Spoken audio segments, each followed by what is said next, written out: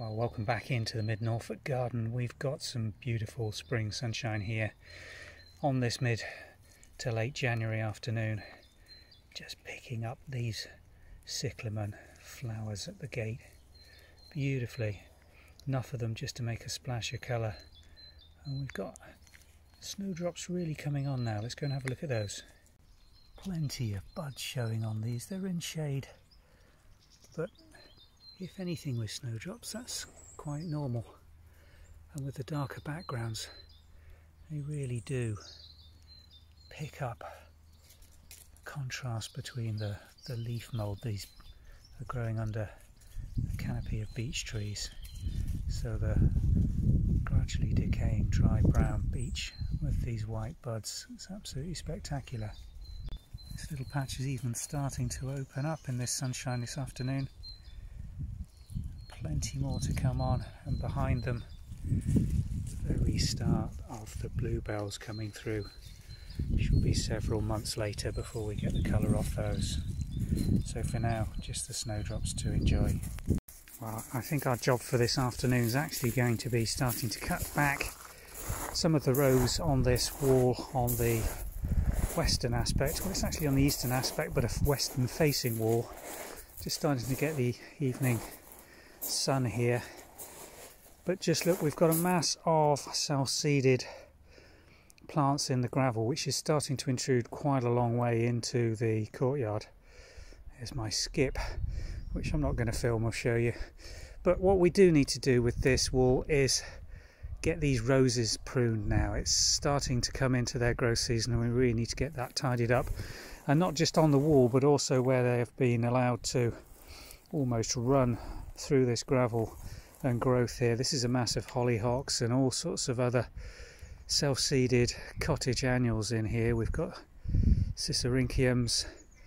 There's an awful lot of a creeper, which I'm not exactly certain the name of. It's almost like a, a creeping honeysuckle. Doesn't do an awful lot, that one. But also in the mass here, you just see these green growths coming up. You'd think these were spring bulbs, but they're actually a crocus that flowers here in autumn, a, a small yellow flower. I, again, don't know the variety, it's one that's been planted here for years. But really, to get some light onto those by cutting back this vinca, this variegated vinca that's coming over them, is going to really benefit them. Get some light in, get these hollyhocks stems cut down from last year, and the whole of this mass, which just looks so messy now, just tidied up and thinned out because there is an awful lot of seed in here. Too much for any of it to really do any good and particularly with the hollyhocks what we're going to do is thin them back to give individual plants a decent amount of growing space so we actually get a decent crown and some flower from them. So enough talking about it. I'm going to get cracking with the snips start removing this. A lot of the dead matter will go either onto the compost. If it's woody too hard to compost then we'll put it into the uh, bonfire pieces in small amounts and see how we get on. See what light we've got remaining. And we have got the dogs out with us as you can hear. Now a lot of people when faced with a big mature rose like this look at it and think where to start and where do I cut. And when something's as overgrown as this with a whole load of other things growing through it, the first thing you've got to look is just straightforward, sensible approach to get access to the stems that you're going to be able to tie back against the wall. Now down the base of this you'll see we've got some really thick, well established and mature stems which have been allowed to come up and stay in place for probably about five or ten years. And off those if you just see that lateral coming is a really good vigorous fresh stem that's coming sideways. And those are what you want to try and conserve and tie back in. But to get to them and to be able to tie them in, you've got to remove the vast majority of this overgrowth and anything that's damaged or diseased in any way needs cutting back.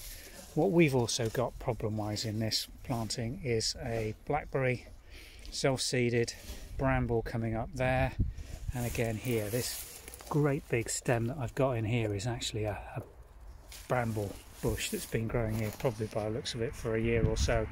So that's got to come out and ideally get the root out. Just cut these above the surface, they'll regrow.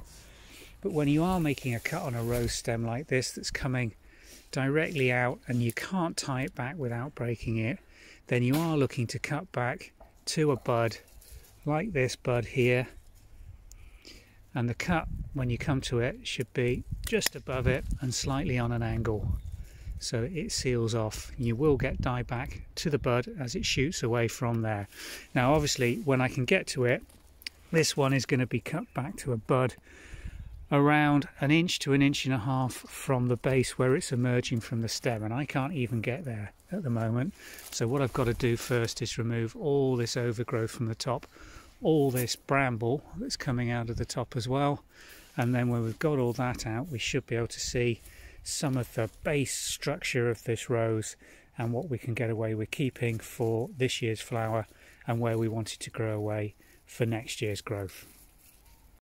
I've been going at this rose now for around 10 minutes and I've got a wheelbarrow full of what is mainly bramble to be honest. And if we come over to the rose bush you'll see now I've got access much more easily to it and it's starting to show where I need to cut back.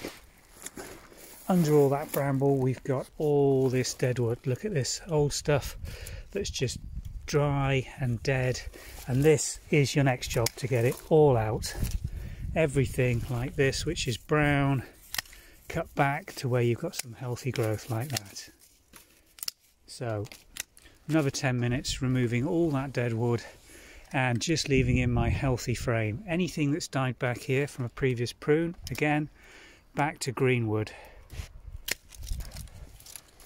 okay so that's your next step and then you'll see that what I've left in here I've left a few longer growths which are green fresh stems from last year which I'm wondering I don't know yet but I may be able to tie these back onto this framework I haven't quite decided yet I won't know until I've got all this dead wood out what's going to remain and what's going to stay so that's the next stage in this prune I'll see you back in a couple of minutes when I've achieved all that well, we're almost there now. You can see we've tidied this rose back with removing all the dead and diseased wood, but we've still got a way to go with this. And the next bit I'm going to show you is these spurs like this, which are last year's flowering spurs. They're going well above the height of the wall, and you'll see it's quite difficult at this time of year because you've got these beautiful buds that have emerged.